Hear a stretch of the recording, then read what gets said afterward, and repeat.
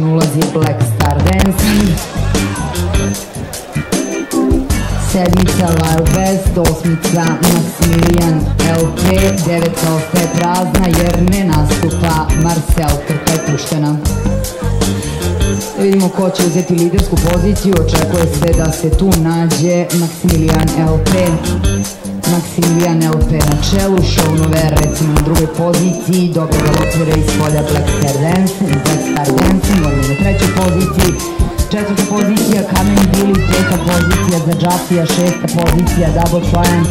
sedma pozicija. Polja galopira Eyes of Silver na začelju Wild West, trku vodi Maximilian LP, druga pozicija za Show Nover, Drugoplasiranu iz prošlogodišnjeg derbija na trećoj poziciji galopira Kameni Bili na četvrtoj Black Star Dancing na petoj poziciji je bio Double Triumph vidit ćemo ko sada izbija na petu poziciju na začelju je Wild West trku tri dužine prednosti Maximilian LP u odnosu na Shownover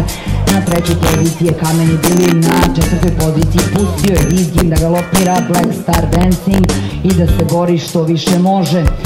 na čelu i dalje 3-4 dužine prednosti za Maksimilijana LPA na trećoj poziciji Show Nover koji kao da simuliše rukama Milan Konkolje isto to se dešava i Kamenom Biliju. Kameni Biliju sada izbija na drugu poziciju na trećoj poziciji je Show Nover lako do četvrte pozicije stiže Double Triumph.